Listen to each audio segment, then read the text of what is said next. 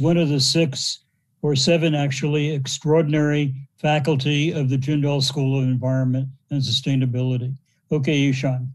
Thank you so much, Arpan. Thank you for the brief introduction. I actually forgot to introduce myself, but I had the occasion to welcome you all, and I'm going to do that again because we're moving on uh, to the next session now. And our, in our previous session, we noticed that uh, Justice Wilson talked about time, and I related the time to money.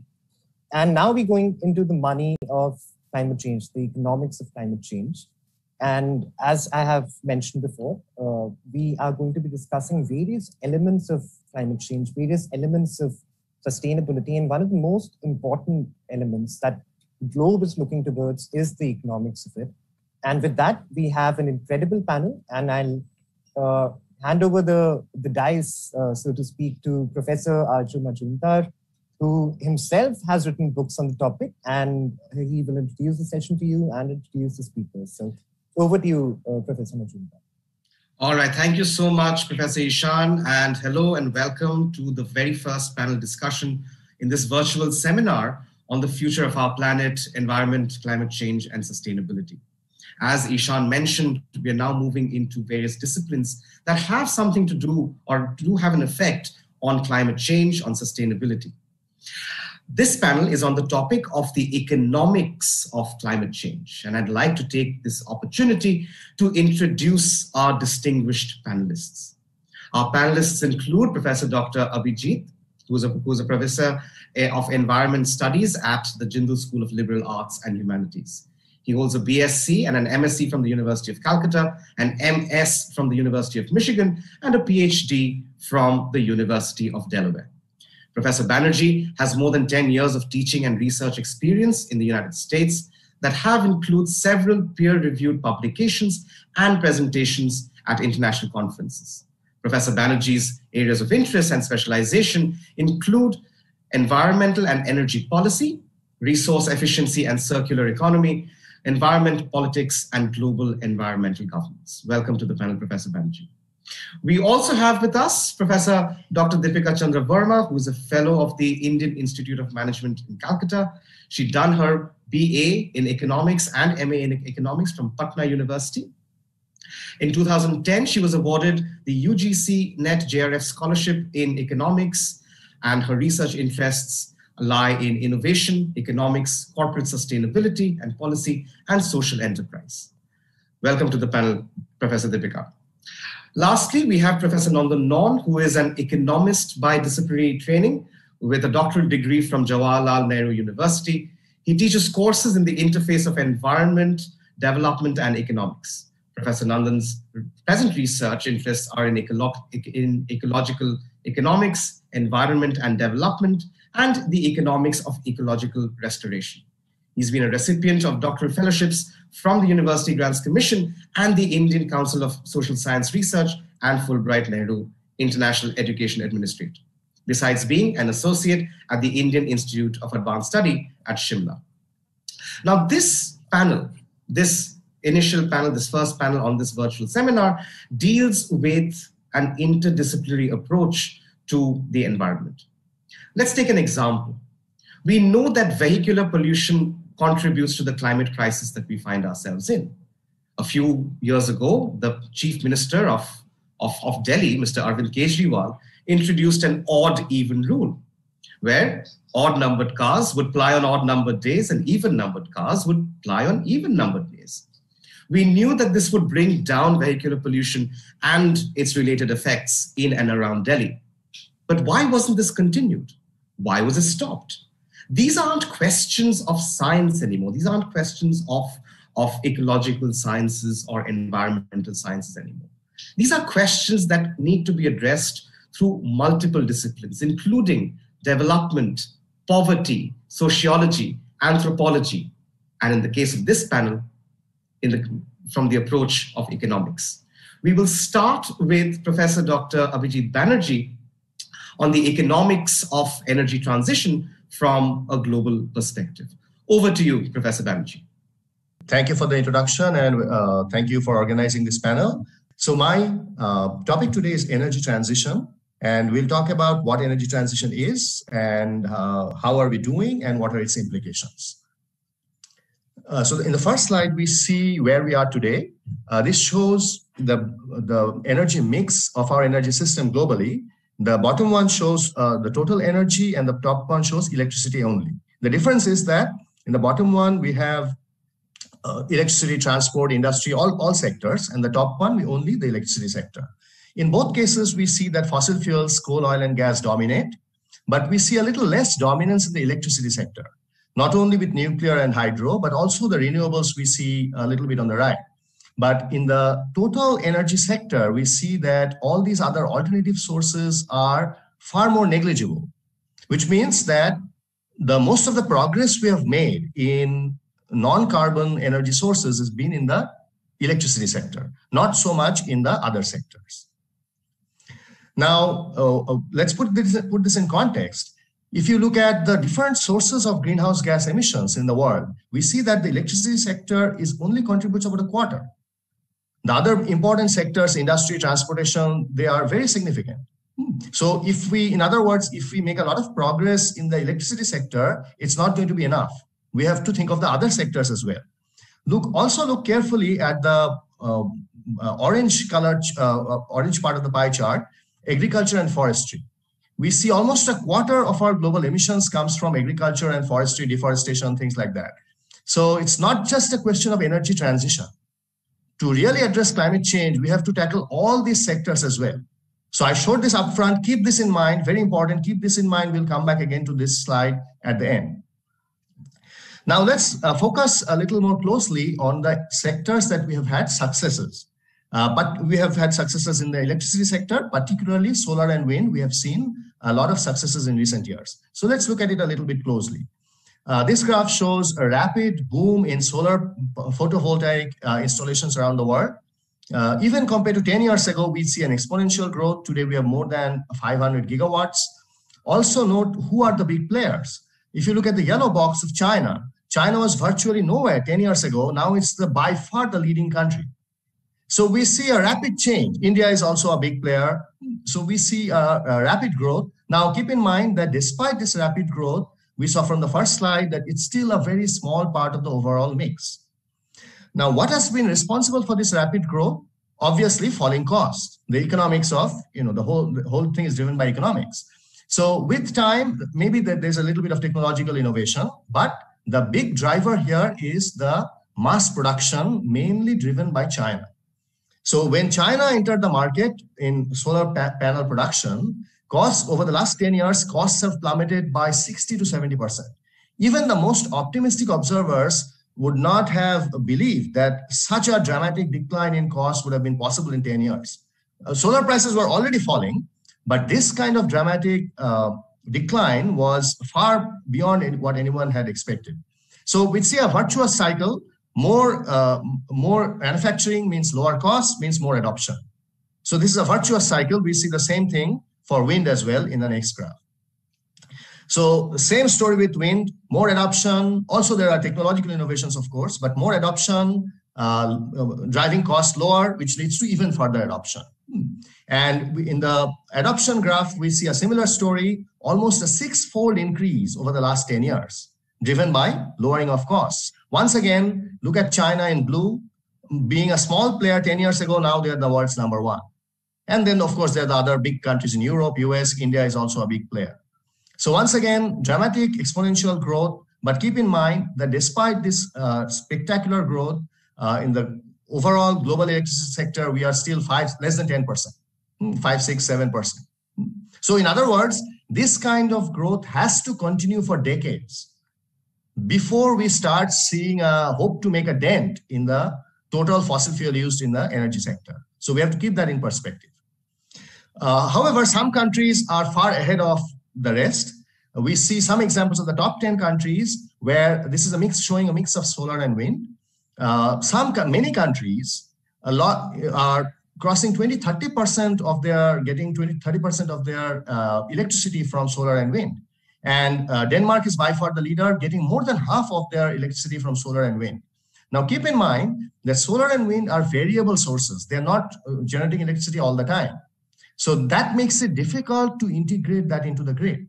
So despite this limitation, These countries are integrating 20, 30, even 50% of variable renewable energy into the grid, which is a big success.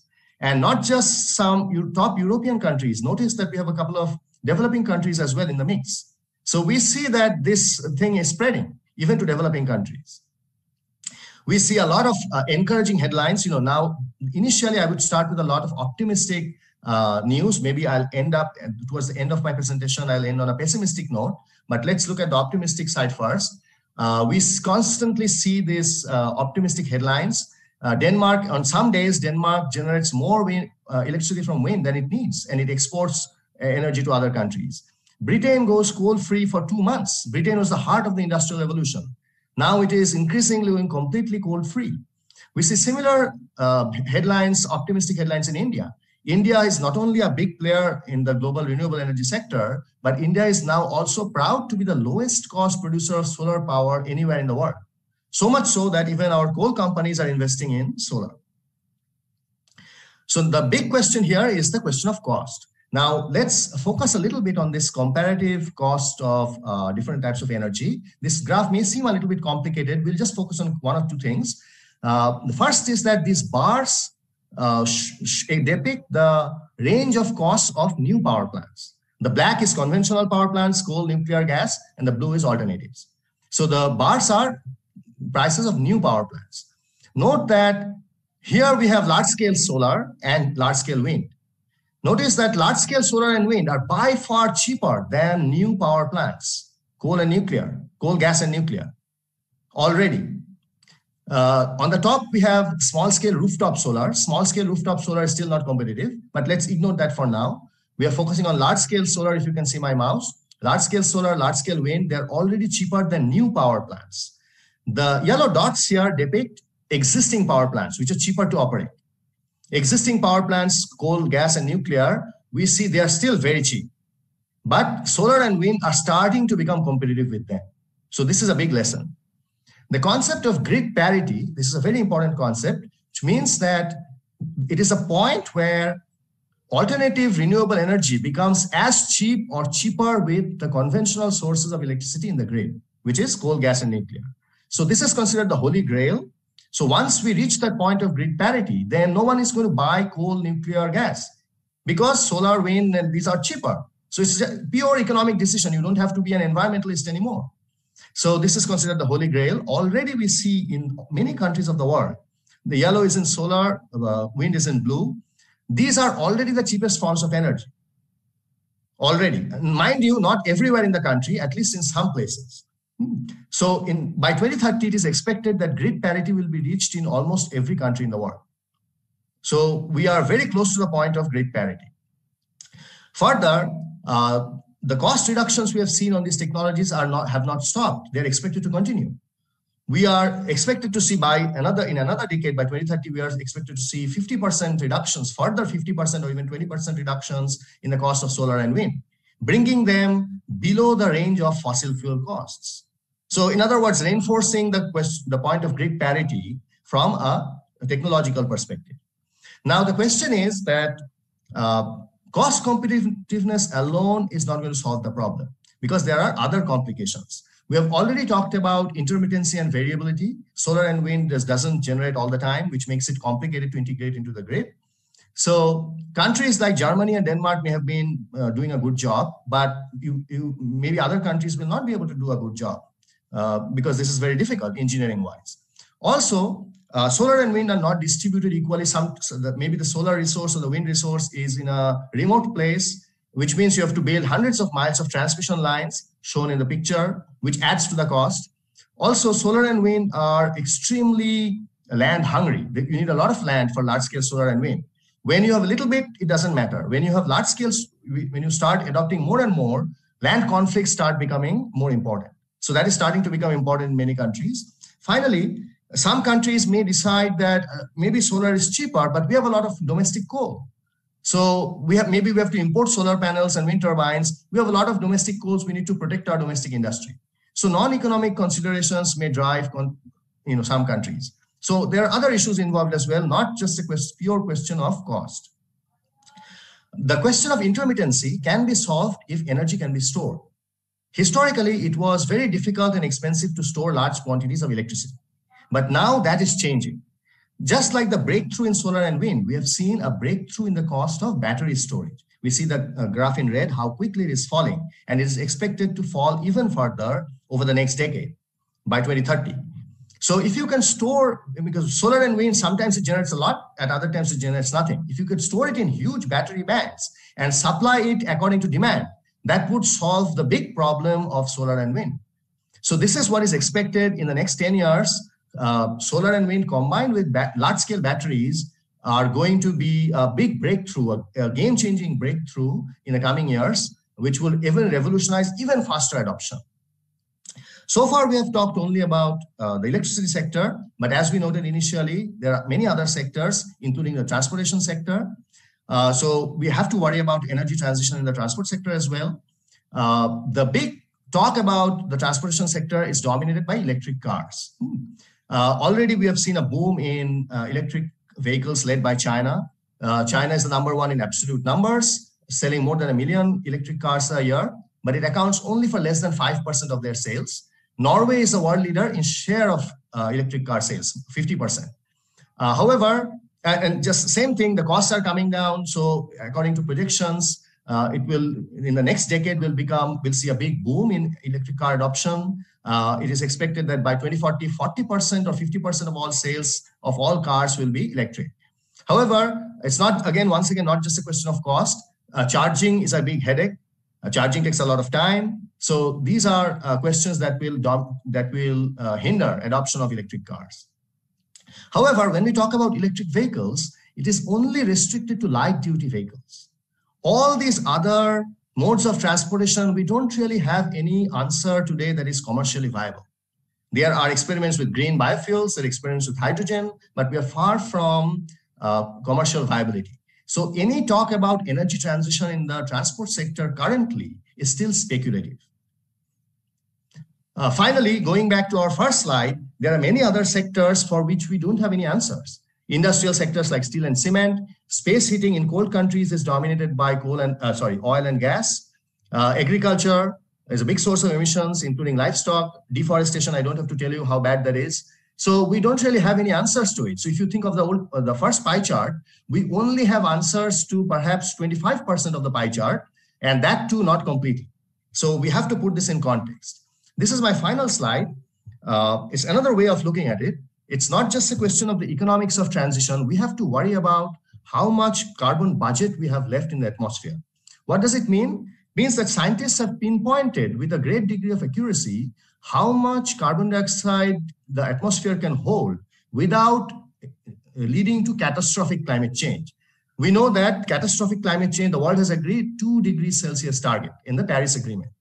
So we can, scientists can calculate exactly how much carbon dioxide, we, we know how much we have already emitted and how much space, so to speak, we have left. And that gives us barely 15 years. So when we talk about, okay, net zero emissions by 2050, we think we have a lot of time. But when we think of the perspective of the carbon budget, we don't really have a lot of time.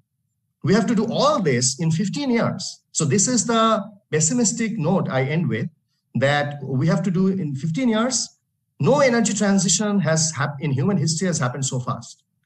And we already saw that we have we don't have answers to three quarters of the problem. Hmm. So perhaps we uh, started taking it seriously quite late. And my last point is perhaps we are looking at it only as a technological solution. Perhaps the solution lies elsewhere. So I would end here. Uh, thank you. All right. Thank you very much for that, Dr. Banerjee. And it was an absolutely enthralling and riveting presentation that you gave us. Um, thank you so very much. Now, I'd like to ask a couple of questions of you, if you don't mind. And I'm quite certain our uh, panelists also have a few questions for you. My questions, my well, and, and if any of my panelists would like to come in at some point in time, feel free to do so. So you mentioned that that the plummeting costs, particularly in solar and wind, um, these have sort of increased the, the rate of, uh, of adaptation, right? These have increased the, the, the, the, manner in which uh, we have been using it. Would you see similar plummeting costs in other technologies, perhaps? Uh, in theory, yes, but uh, you know, you think about it, solar and wind has been have been around since the 1970s, and only now, after 50 years, we are starting to see this ratcheting up. So, if you compare other technologies like hydrogen, for example, uh, we they are not even close to commercial viability. So, yes, we are going to see similar curves, uh, you know, similar growth curves in other technologies potentially. But the big question is the you know time frame. If we have less than 20 years, how likely is it that technologies that are not yet commercially viable, uh, we are going to see spectacular growth curves within 20 years? Right. So the, the, the main answer is uh, the, the, the short time frame. Right. So a related point, Professor Banerjee, from the macroeconomic perspective, what should governments, perhaps in the developing world, you've mentioned that you know highly developed countries like Norway, Sweden, Finland, etc. They've they've actually captured much of their energy consumption through renewable energy. Great. What should governments of developing countries be doing at a macroeconomic level to ensure that whatever changes we need to make in how we generate power uh, is done so within the next 15 years? Uh, one, one automatic answer to that question is uh, that this problem has become much uh, less important in last 10 years than it used to be because once you reach grid parity, the role of government recedes. Now it's automatically a, a self-reinforcing market-driven cycle, which is what we start to see in, in India as well. Right. But my point, Dr. Banerjee, is that we haven't yet reached grid parity in many countries. Yes. Yes. Should there be government intervention then? Yes. Uh, so the, there are many different policy approaches the governments can uh, take. Uh, the most obvious option, actually, Deepika is going to cover this, so I don't want to go into detail. Um, uh, ob obvious answer is if you tax fossil fuels, then the other things become competitive, but nobody wants to do that because it's going to increase the cost of daily necessities. The other option is trying to directly or indirectly subsidize, uh, you know, alternative sources of energy. Uh, and many governments are, are trying to do that. In India, we did uh, large scale auctions, which drove down the cost of uh, uh cost of renewable power. Uh, there are many uh, potential approaches. I, I, I, don't want to go into that because Deepika is going to cover that. Professor Nandan, you had a point to make. I have a comment to make and a question to Dr. Banerjee. one point that I want to make, I don't know whether Deepika is going to cover it, but this greed or rather culmination of different sources of energy into the single grid is a major challenge because of technical difference in terms of frequency and so yes. on and so forth. Yes. Fact, my one of my PhD students, uh, who is from the Ministry of Non-Renewable um, MNRE, is actually working on that. How the markets is going to help it. Now, I have a question for Dr. Banerjee. Dr. Banerjee, uh, do you see that uh, this uh, solar or wind energy is going to replace the coal? In case it is does, then the coal, coal plants are going to be dismantled. There is a cost of that. And in fact, uh, there is a huge cost because we have too many coal plants in this country. So, if we take care of the cost, do you think it is actually feasible? Or it is happening the way solar is increasing, it is more to do with increasing the scale rather than substitution. So, newer energy sources, or rather, newer areas are getting energized through solar rather than solar replacing the coal. That's all. Thank you. Yes. Uh, so far, so far, most of the growth in renewables have been additional, as you as you mentioned. But as storage becomes competitive, coal and uh, sorry, solar and wind plus storage will start taking care taking care of the base load uh, problem as well. Hmm. So I didn't want to go into these details because first of all, there was a limited time and we have an introductory audience. Hmm. Uh, so uh, the, the, technologically, once assuming that battery uh, large scale battery storage becomes economic in the next 10 years, uh, technologically, it will not be such a difficult problem to overcome. But the bigger point you raised was economic, that what, what, what are we going to do with our stranded assets? We have countries like India depend in terms of whether it's employment, in terms of government revenue uh, coming from coal. Uh, that is a far more difficult question. And that is why this concept of just transition, which we, we I haven't introduced, that uh, you have to have a economy-wide change make sure that no one is left behind. Communities dependent on coal. How do you replace government revenues coming from coal? So that is a much more complex question. So uh, I had just one slide showing that economic competitiveness is not enough. There are many other non-economic considerations. It would require far detailed thinking and planning to address this question. It's not just a simple question of, oh, solar is cheaper, let's just switch one with another. Uh, Abhijeet, I have one question, and in fact, let me also clarify that my talk will be more micro in nature, so it will focus more on rural electrification and policy related issues based on the case study that I'll focus on. But at the end of the day, uh, what you were also talking about, and some of it I'm go- uh, going to borrow in my talk as well, uh, is uh, something where you talked about this holy grail.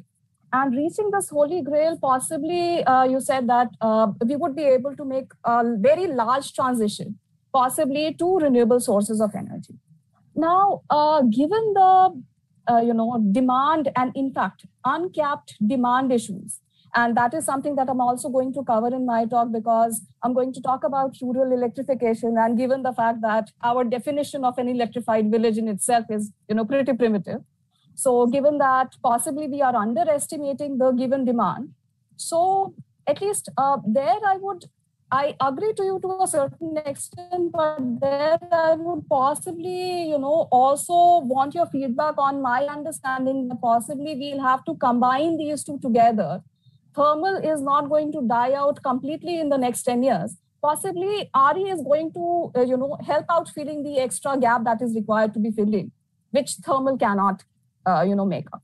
So what are your uh, insights into that yes i think that it goes back to my previous point that you know already in some rural areas uh, the cost of extending the grid is prohibited remote areas so already uh, solar is the cheapest form of energy there. It's I'm not saying that it's not the same as being affordable to rural households, but overall it is already cheaper than extending the grid, which is very expensive. So uh, one way or the other, uh, you know, when battery storage becomes uh, uh, uh cost competitive, the, in, the alternative energies will become cheaper and will start di displacing the base load, gener thermal generation from coal and so on. Uh, whether um, nobody's saying that's going to happen in 10 years. It might happen in 10 years only in some, some parts of the world. But in mm-hmm. other parts of the world, it may easily need, even in the most optimistic scenario, it may need at least 30 years. Hmm. But also, I would just go back to my, uh, and as you mentioned that in some places we still have demand that is, uh, we have not estimated demand well, rural electrification in Africa or, or, or in India. But it, there's no reason that the uh, untapped demand cannot be met by renewable sources. There has to be, you know, whatever form of energy we try to provide uh, uh, in rural areas, there has to be a role of government because uh, rural households may not be able to afford it. So even grid electricity, uh, even cooking gas, LPG, government is providing cooking gas, nobody can use it. The cylinder is just lying there. So whatever, so that's a different question whether rural people will be able to afford it uh, that's a separate question from what is the cheapest electricity in the grid. Hmm. Mm-hmm. Uh, but I would like to end with my uh, what I said at the end of my presentation that just uh, looking at the uh, technological cost substitution is a narrow and op- over optimistic way of looking at things. There are many other perspectives, non-economic considerations uh, that would you know that would make sure that the transition uh, uh, will be much more complicated than what it looks like in the textbook. Mm-hmm. Thank you. Absolutely. Thank you so much, uh, Professor Banerjee. I think I think that's an that's an, a very accurate description of how the challenge of climate change and sustainability is being is being overall uh, you know looked at and i completely agree even with um, you know the economics of climate change there are non-economic factors that might come in the way i i noticed with some interest that we ended the discussion on a note that we will start the next panel speaker with, which is on rural electrification and micro solutions. So, Professor Deepika, over to you. Thank you. Um, so, thanks, Isha. So, my apologies for uh, to the students because, ideally speaking, I would have created a shorter, more uh, you know compact set of slides but I realized that because these slides were something that I couldn't share given my technical limitations with my laptop, as I couldn't share my screen then. So uh, that is why these slides are slightly overwritten, but possibly that is one advantage to you is that you can take that and look at what has the past policy in relation to renewable energy, especially when it comes to uh, rural electrification, uh, has acted as a booster, why it came in to begin with, and then what has uh, been the change in the rural area and rural electrification at large. So, uh, what I would uh, want to do is uh, start off with a basic insight as to why do we even think about renewable energy and possibly i know now that it is sort of repetitive but the point is that it becomes important to just go back and talk about this in a sentence or two that climate change is a global problem and largely uh, the anthropogenic uh, contribution to it in the form of growth with respect to our use of energy, largely which is thermal in nature, has been the driving factor towards it. Because what, as students of, uh, you know, School of Sustainability, you already know uh, that this contributes to a lot of uh, greenhouse gases and eventually the warming up of the planet and so on. And I'm putting this very simply. Obviously, there are a lot more, uh, you know, complicated mechanisms behind this. But the idea is that given that this is a basic, you know, premise, there is this literature that possibly interested people may want to, uh, you know, uh, go back and explore is the energy growth nexus uh, uh literature, which actually connects the uh, concerns of environment as well as uh, what we look at in the form of energy consumption. And basically, this started off because of the fact that largely we were using uh, energy which came from thermal sources. And it is still to a very large extent true, as you've seen in Professor Abhijeet's talk. So, therefore, there has been a larger focus on renewable energy as an alternative uh, that would possibly replace or uh, possibly accompany thermal electricity or energy. And in my talk, the motivation of this entire uh, work is uh, going to be focused on this issue uh, of uh, exploring extrasomatic energy. That is something that is the energy that we use as human beings that comes from external sources outside our body.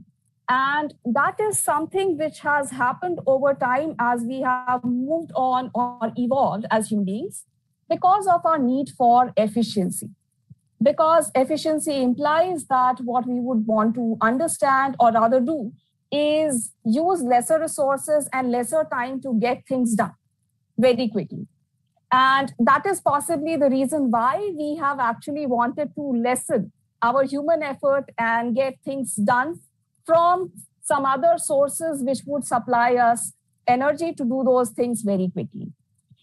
Given this, uh, the sheer idea is that even if we move to using renewable energy, given the larger focus on climate change, what is going to happen is that even then we are actually harnessing on external resources or sources of energy. So possibly what is not going to impact on is, is the uh, uh, electricity or energy consumption per se. Because even when you are replacing renewable energy uh, uh or rather thermal energy with renewable energy, at the end of the day, you are trying to meet your demands, which uh, because of growth uh, would actually be increasing over time even if you uh, dis- include the increase in population. Because your lifestyles will change, you will possibly require more technology to do things for you, and therefore you will use uh, or require energy. So, my students actually had this question that ideally speaking, because people think about renewable energy as something which is good, which is possibly going to you know replace thermal energy possibly not going to get accompanied with the trouble that thermal energy use actually brings along with it in the form of greenhouse gases. So, ideally speaking, they had this uh, basic premise that countries which actually use higher renewable energy should actually be the, also the ones which actually use lesser energy or consume lesser energy. So possibly these would actually be the educated countries in the world, uh, which would actually think about moral issues and uh, try and lower their consumption, which is something that again goes back to uh, the story about sustainability, where you try and maintain the resources for the next generation to come in. So possibly you would try to bring in some checks and balances into your consumption of resources. So given that, uh, the primary analysis that I am doing in another work, uh, uh, yeah, sorry, Ishan, I forgot to do that. Uh, basically, most of this is stock. So possibly you may want to move to the fourth slide.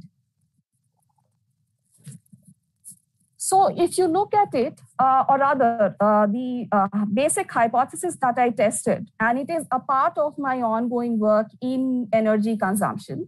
So this is only the first set of hypotheses, which actually looks at impact of renewable energy on electricity consumption.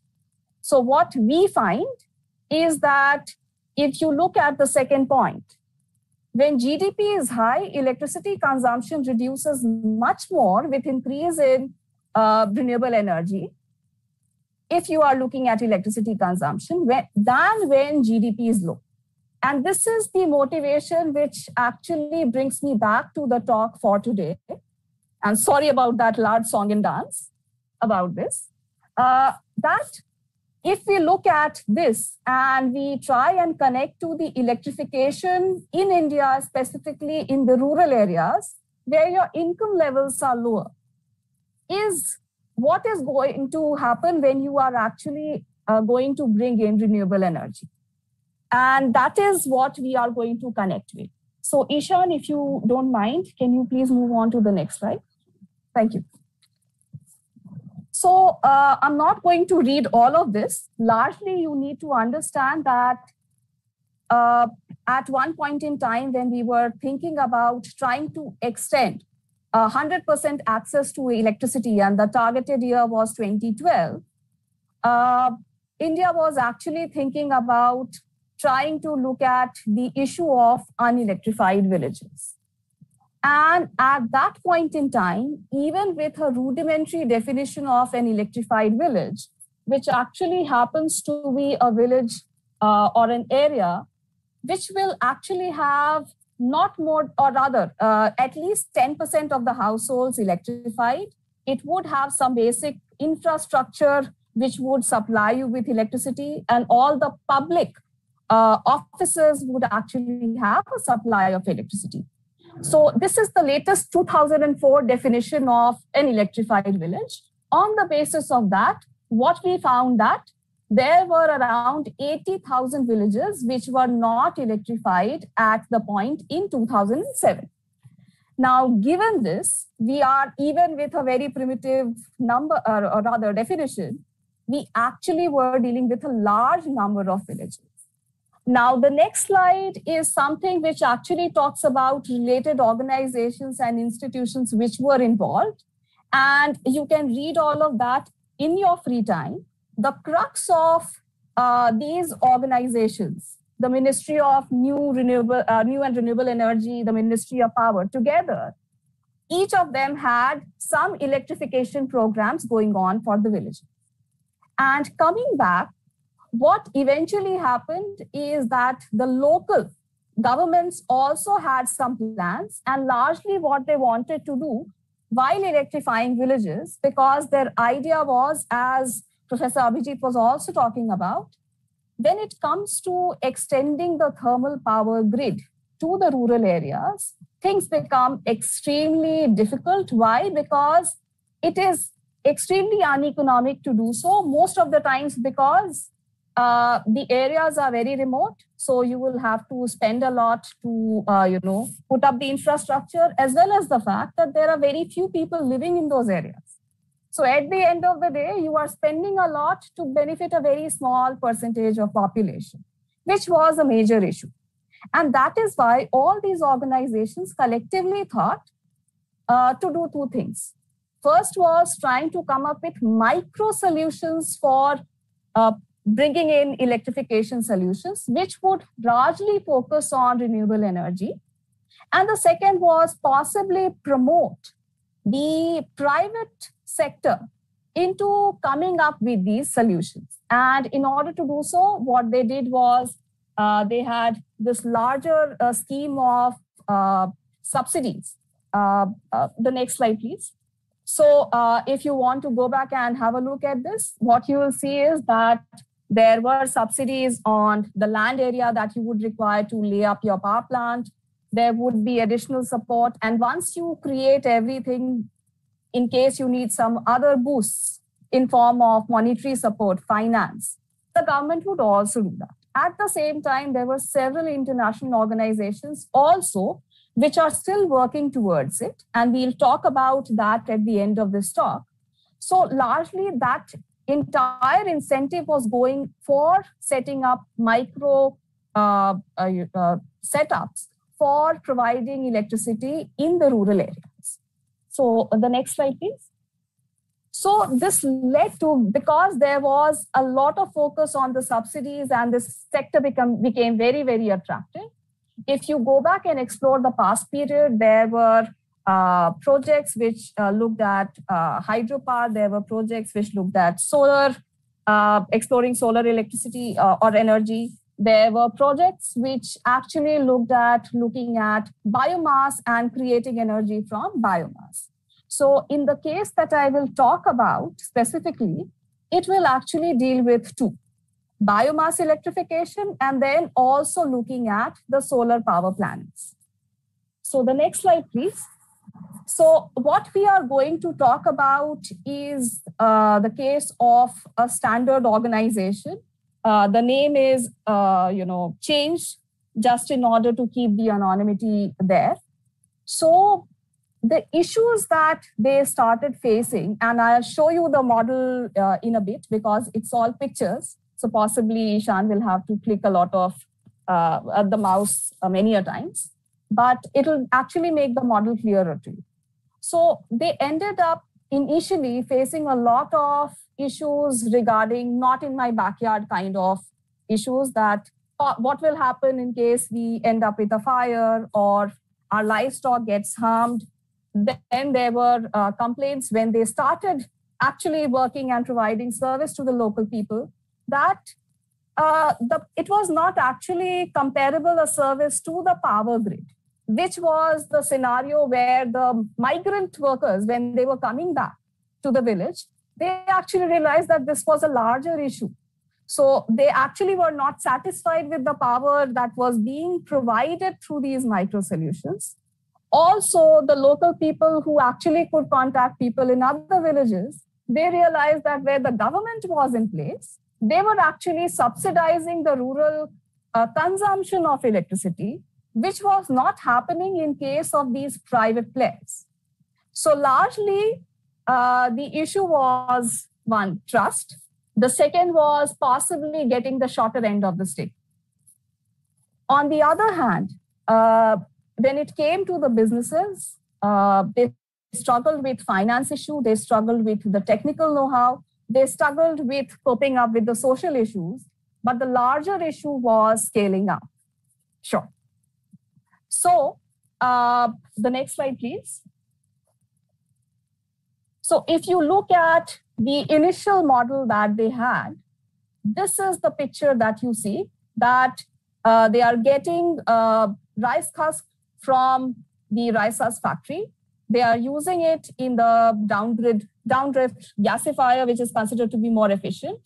And then they are using it to generate electricity, which is going to serve a number of 500 households. Obviously, what they eventually did was in order to make local people happy, they started bringing them into, uh, you know, the business. So what they ended up doing was they had an incense stick making uh, enterprise set up nearby, which would actually use the byproduct of this, uh, uh, uh, you know, uh, gasifier. On the other hand, they also had a franchisee model put in. So if you do two clicks, Ishan, you can show the two pictures to the students. So given this, uh, the franchisee model actually involved the local people, and possibly they would then PTEC would set up the entire thing in a local area, and possibly a local person would run it. So the social issues and the trust issues went down the drain. But next slide, if you, we look at it, uh, what they also did was they realized that they were still not going and serving the remotest of the villages. Possibly these are hamlets, uh, which actually have not more than 20 households. So then they set up a solar power based technology uh, with solar uh, uh, rooftop uh, photovoltaics mounted on the houses, and each would serve somewhere around 5 to 12, 10 or 12 households because the requirement for electricity was also very basic. So if you look at the next slide, eventually, as I said, that scaling up was an issue. So eventually what they did was they combined both of these together because eventually, as power storage is something that Professor Abhijeet also talked about, this was an issue here. Because on uh, uh, in rainy season, you would not get dry husk. You would have to spend some money storing it. And then there was this, uh, you know, uh, when you looked at solar PVs, uh, then again, the issue was if you had, uh, you know, if you wanted to store more power, you would have to spend more money on the batteries, which was expensive.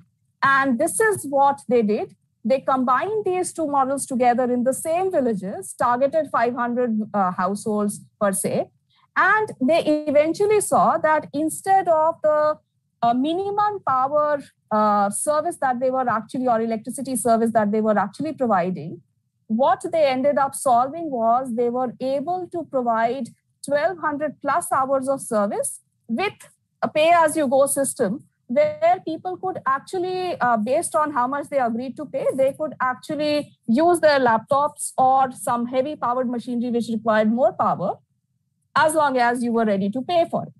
So basically, uh, the next slide, please. If we come back to this, it reinstates the finding that I did from my uh, hypothesis testing. I'll talk about data if other people have questions later. Is that if we go and look at it, RE per se is actually trying to fill in the access gap which thermal cannot meet even now in case of India. And basically, uh, the other issue is that though large scale uh, renewable energy solutions are cheaper, as Professor Abhijeet has just shown you, what actually has happened is that, it, at least in these earlier years, it was not available, so things were slightly difficult. If we move on to the next slide, what you will see is that newer, larger firms are actually coming into picture and there is now more technical and financial support for even the smaller organization. So if you explore Tata Power's renewable microgrid with the Rockefeller uh, Institute, they are actually trying to move in that direction. So given this, what needs to be touched upon, the next slide, please, and I'm ending in a minute, is that uh, what we need to do from the policy side is try and remove the subsidy story out and bring in more self-pushed incentives, possibly in the form of public-private partnerships. Then what we also need to do is revise and think about the uh, estimates of electricity demand. Uh, on the other hand, what we also need to do is bring in the technological uh, front to pitch in and there are a lot of hopes up on uh, the uh, uh Make in India uh, project that the government of India has. And you'll find some literature on that. In case you are interested, you can always write back to me. And then what actually ends up being the issue is then struggling about what is going to be the price of all these uh, solutions. Should the policy handle it as something which is regulated, largely subsidized, or leave it as something which is going to be largely market driven? And that's it. Thank you. All right, wonderful. Uh, thank you so much, Professor Deepika. That was really enlightening. I have a couple of questions. Uh, but mm-hmm. before that, if any of our if our uh, panelists, other panelists have any questions, uh, feel free to. Okay, wonderful. So I, I had a question here, and, and this comes from more of an agricultural or, or, a, or, a, or a anthropological sort of standpoint. Now, both you and Professor Banerjee have talked about um, the involvement of solar both as a macro grid from the macro grid perspective, as well as from the micro perspective. My question, uh, Professor Deepika, is that would you, would you see a rise in hydroelectric power in rural India, particularly given that most villages, no matter how remote they are, they are usually found next to readily available water supplies? As long as they uh, you know we develop a technology to you know use it on a small scale because right. uh, because largely my work has been in solar so uh, i only know of the large scale uh, hydro uh, power uh, projects but when it comes to the micro story possibly as long as the technology is there and in fact there are some uh, technologies which possibly can be used, but the issue with them is that uh, depends upon how much power they are going to generate. Note. And how uh, commercially viable it is going to be. Right. All right. Uh, if I may add quickly on that note, that uh, microhydro is already a promising solution in many rural areas, but the conditions have to be right the, the for mm. microhydro to work, the stream has to be, it only works in mountainous areas where the stream has to be fast flowing. So uh, either rapids just, or a waterfall. Not, it will not, it not, it will not uh, work everywhere. Uh, quite aside from the economic question, with the affordability question, uh, it is a viable technology, but it only works in narrow geographical areas. Wonderful. All right. Um, with that, we'll turn our attention to our final speaker, Professor Nandan Nawn uh, who will sort of wrap up this session with uh, on the on, on with, with the discourse on the moral versus economic approaches for eco restoration. Over to you, Professor Nandan. Uh, thank you, uh, Jindal School of Environmental Sustainability. Thank you, Ishan. Thank you, Arjunbir. Thanks, panelists. Uh, it is indeed a great pleasure to speak on economics of climate change on the World Environment Day.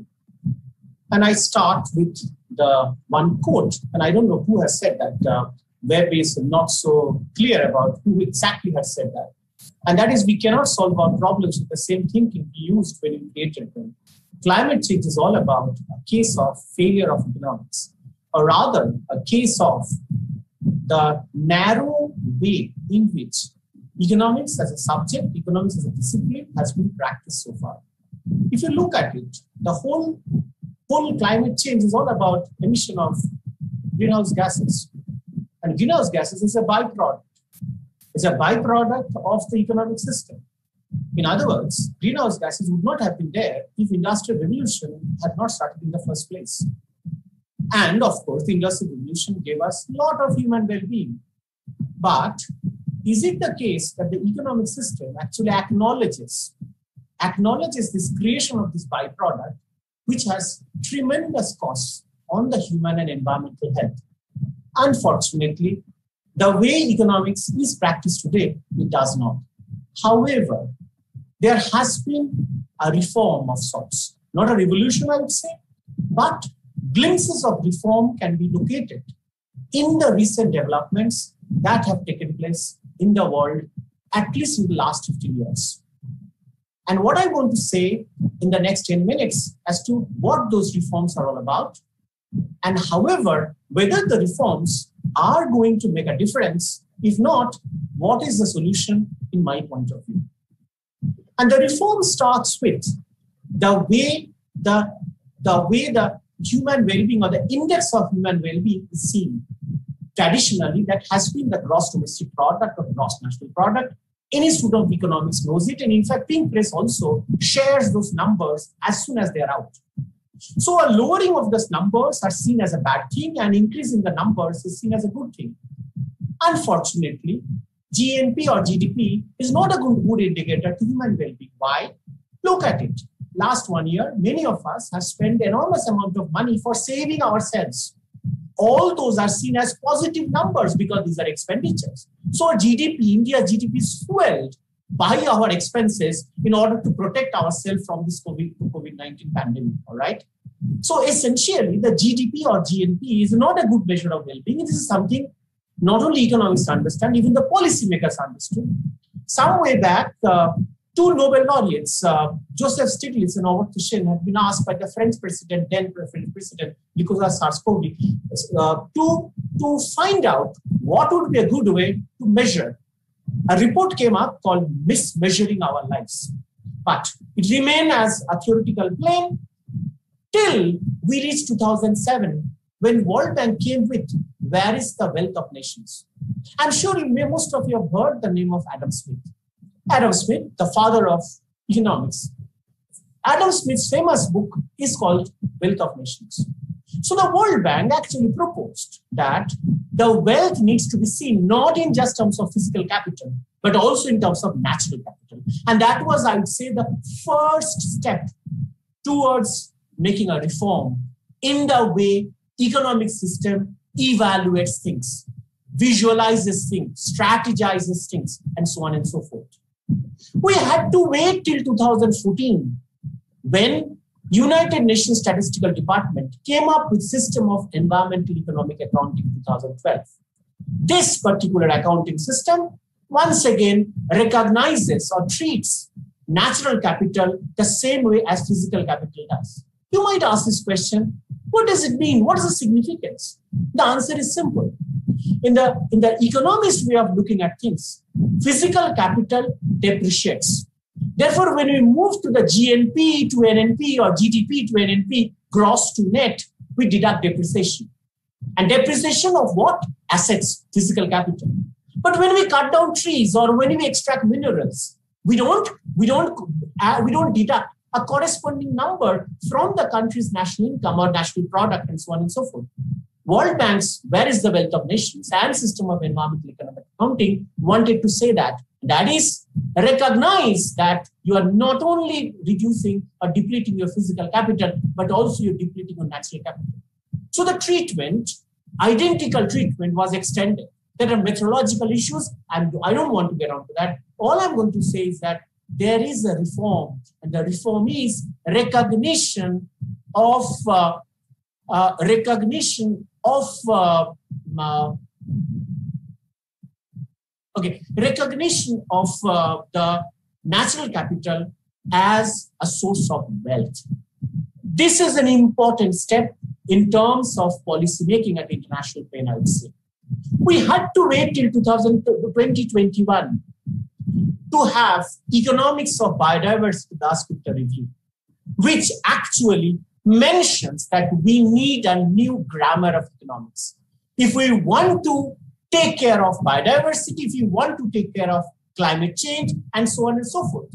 The reason being that the way traditionally economics have been economics have been practiced, it doesn't look at systems or matters which are beyond its narrow plane or narrow region. Therefore, students of economics in the first semester itself study something called externalities. What is an externality? An externality to whom? Externality to the to the economic decision maker. But look at it. The smoke that is coming out, that is going to be paying, or somebody must be paying for the cost. So there are, that is why people say something called social cost, as if economic system or for the matter economic system essentially does not recognize anything that is happening outside the economic system. It is the system of environmental economic accounting 2010 recognizes that economic system is a part of nature, is a part of environment. Economic system depends upon environmental environment or nature for the sources, that is inputs, and also for absorption of the sinks, absorption of the waste as a sink function. These are the recognition, and these recognitions are a welcome step. Ecological economists like Herman Daly, Georgescu-Roegen, they've been talking about it for the last 30 years. Nobody listened to them. Nobody recognized that unsustainability in the source and the sink function is going to impact the the economic system. And that is why now, if you go to the go to the World Economic Forum website, you will be able to see that how world leaders or business leaders consider climate change and water sources of or supply of water and energy as the greatest threats to the economic system. Now, I end up with saying that this may not be enough. This may not be enough because the way even the reforms are limited in scope. Why so? because the reforms are based on something called capital theoretic notion of sustainable economic development, in which natural capital and physical capital are treated as substitutes to each other. So therefore, wealth of a country, wealth of a nation will not decline provided that the value of natural capital degradation can be compensated by the value of physical capital or increase in the value of the physical capital. In other words, it is fine, this particular framework, it, it considers that, okay, you reduce trees, but you have more buildings. But we know that that is not going to work. In fact, might be, and there I'll end in two minutes' time, and perhaps that's the reason for which United Nations decided that, that this decade will be the decade of ecological restoration. Everybody understands the potential of ecological restoration. Unfortunately, the way economic viability of ecological restoration is measured till date, we cannot locate, we cannot show through the use of traditional cost benefit analysis a ratio of benefit higher than the cost. And therefore, ecological restorations either do not take place or are do not funded or mismanaged and so on and so forth. Right now, my research is about locating the, or working on the economic viability of ecological restoration because I think if we can find out a method which is accepted to the government, which we can help in showing the potential of additional employment and income, at least to the local population, there is a hope that the governments will be willing to fund such restorations and in the process not only it will take care of the environmental angle but also social angle that is taking care of the local population and the ecological angle the three pillars of the notion of sustainable development. I stop here. Thank you. Well thank you so much for that impassioned discourse on shifting away from traditional norms of economic accounting and looking for uh, looking for, for profitability in pretty much everything that we do, Professor Nandan. Um, I have a question though. Um, you mentioned that your research presently surrounds um, trying to figure out methods in which uh, you can show the government eventually that ecological restoration will come with economic benefits in the future, right? My question is, Professor Nandan, how much of a political will will it require for a government to take that step? Okay, uh, a short answer to this question is the following. Uh, in United States, there is a software called Implan, which is used, which uses input-output analysis, which is a, one of the tools that economists find out in order to locate if there is an intervention, what will be the corresponding economic multiplier for both employment and income, not only local, also regional, to find out the, the economic viability of ecological restoration. Unfortunately, or rather unfortunately, it requires heavy data. We are still trying to find out in India how to get that data because this is this data is there, but across departments. We need access to Bharat maps, which where uh, the NIC classifies all those things. And we are working on the National Mission on Biodiversity and Human Wellbeing, which is one of the missions of the Principal Scientific, uh, with the Prime Minister's ST, Science Technology Innovation Advisory Council, one of the nine missions. We have been funded by the Principal Scientific Advisor to the Government of India to prepare these documentations. We hope that mission will be launched soon and we will be able to undertake this work. And given the fact that it is the government, Ministry of the Prime Minister Scientific Advisor, who has actually funded this efforts, we hope that we will be buying soon. All right. Does do any- I have one short query. Uh, think of me as a student, uh, but uh, the only thing that I wanted to understand was uh, definitely you are going to get uh, da- uh, gathering data is a difficult task on a, such a large project. Uh, my query is regarding the fact that uh, uh, you know uh, depending upon you know changes across time uh, what happens is that many a times government drops on certain categories brings in new categories. So in case someone is actually looking at something which is intertemporal how are you going to adjust for that uh, I'm a, yeah, I'm an eventual, I'm a, I'm a core optimist. Okay, so I think that uh, in case you have solid evidence and you can actually rally around citizens of uh, against a particular matter, like say, if you can convince that uh, people across the activists and environmentalists and students uh, across the country that ecological restoration makes sense and to prove them through different media uh, communications and all that I think it is possible to build a movement. I'm quite confident on that. So it doesn't matter whether the government wants it or not at a particular point in time. MNREGA for that matter. Mm-hmm. It came up with UPA, right? There was so much apprehension that whether the present government is going to continue or not. But they did eventually, right? In fact, MNREGA is seen to be a savior in rural areas, in particular during the pandemic, right? So there are one has to wait for the opportunity and one has to be optimist rather than thinking that something wrong will happen. Thank you. Uh, on that note, I have a question for Nandan, uh, whom I also happen to know. I visited him a couple of times uh, at his campus. Uh, I, I am, uh, uh, you know, I'm very, I try to, you know, learn from ecological economics. I try to, although I'm not an economist, I try to incorporate it into my lessons, lesson plans. but you know, my my approach to the to to it is, you know, it's it's a no-brainer for me that uh, you know ecological destruction needs to be accounted for our economic uh, accounting needs to be changed and many great minds have provided the solutions. But uh, uh, for me the problem is the political economy lens. The reason we have the current system is because powerful people benefit from it and they're not going to change. However much environmentalists and activists may shout they're not going to change because it is benefiting benefiting them. And uh, you know history shows us that only a big crisis really provokes change. So, given that you are an optimist, do you see uh, uh, positive change happening? And, and climate change fundamentally is a problem of our wrong economics and wrong so societal model. So, do you see uh, a fundamental change happening before crisis strikes, or can we avoid catastrophic climate change?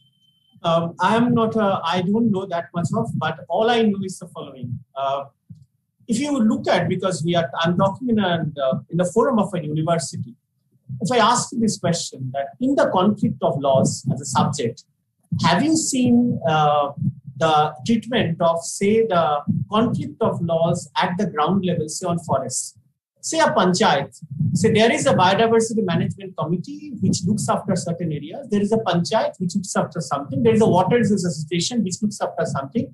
There are so many committees on the ground and there are conflicts. Conflicts in terms of rights and responsibilities and all that.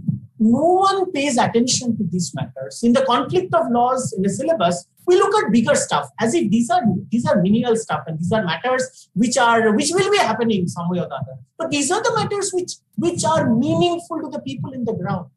If i have to make any change any meaningful change it must be first meaningful to the people in the ground. If it happens it is going to be. Just take, take the example of joint forest management. Joint forest management was a good exercise and it, it gives us positive results in some cases, but not positive results in some cases, right? There are issues and there are places where we could find a positive approach, people IFS uh, officers or with a positive approach who could make it, who could make the changes.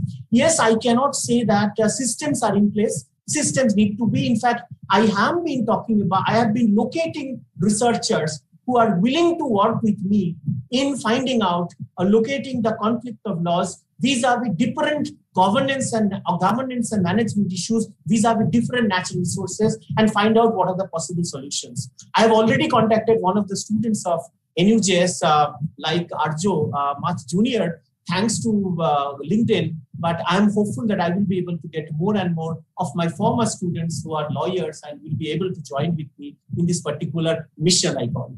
Thank you. Very well spoken, Professor Nandan.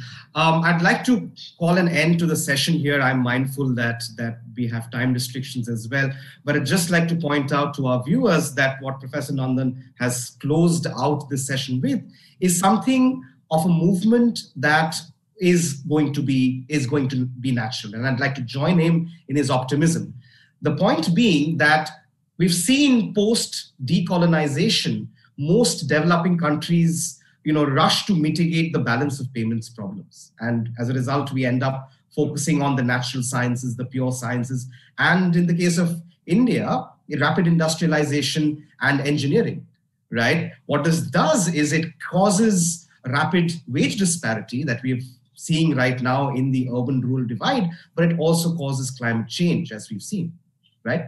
Only when the country has achieved a sustainable level of research or a sustainable level of growth does it turn to the social sciences, including the ecology, including economics, right?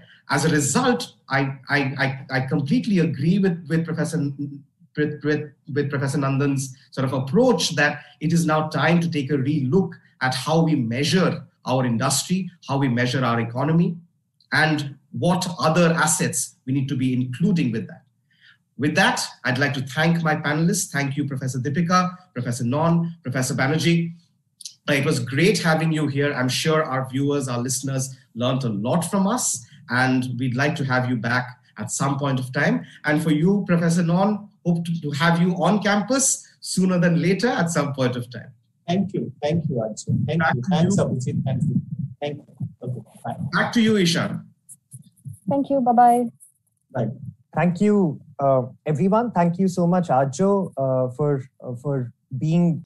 Uh, now, for all of our viewers, we are going to take uh, about uh, seven, six to seven minutes break and be back and as I mentioned, and I've been mentioning uh, since morning, uh, we are going to be dealing with all the aspects of uh, environment today. We've already dealt with, uh, through this very engaging session, the economics of climate change.